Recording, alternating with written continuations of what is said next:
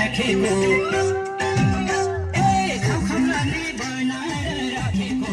छ छैन कसैले चाखेको। आफैको अचार। ए मायाले मलाई खान देऊ।